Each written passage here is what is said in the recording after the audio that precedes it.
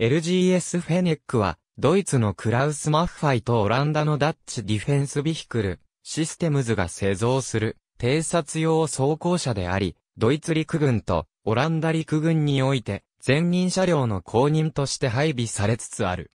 名前の LGS とは、軽装甲偵察車の略称であり、フェネックとは狐に近い犬科の動物である。試作車の野外試験は2000年4月に完了し、2001年12月にドイツとオランダから発注された。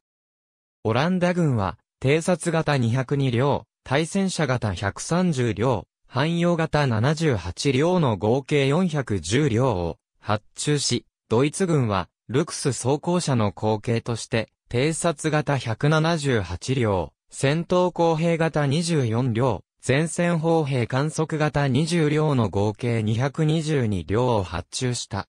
実用1号車は2003年7月に完成し、オランダ軍に納品された。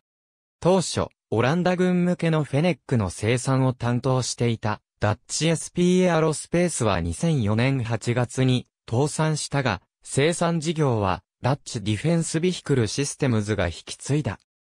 ドイツ軍向けの車両は2003年12月に1号車が納品され、2011年まで受領を続ける予定であるが、2015年から追加発注分を受領することが決定しており、ドイツ軍は最初の発注と合わせて約300両のフェネックを受領する計画である。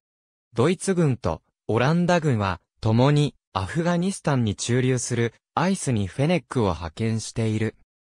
フェネックは四輪式の双輪走行車で地面の状況などに応じて二輪駆動と四輪駆動を切り替えたり、タイヤの空気圧を車内から最適な圧力に調整したりすることが可能である。多彩な並走を運用することが可能なのも特徴である。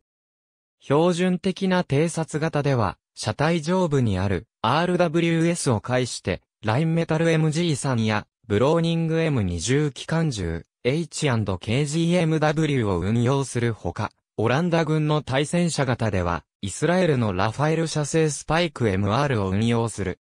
この他にもオランダ陸軍は、トルコのアセルサン社に、フェネックに搭載可能なスティンガーミサイルの発射装置を18機、発注した。フェネックの装甲は、全周囲に 7.62mm 弾に耐えられる、だけの装甲を施しているほか、増加装甲を取り付けることも可能である。また、乗員区画は、対人地雷から乗員を守ることも可能であり、車載の空調は NBC 防護能力を提供する。フェネックの偵察機材は、赤外線カメラと CCD カメラ、レーザーレンジファインダーで構成される。この偵察機器セットは、伸縮式マストの頭頂部に取り付けられており、マストは、車体頂点から最大1.5メートルまで伸ばすことができるほか、マスト頭頂部の観測機器も左右及び、上下方向に旋回可能である。ありがとうございます。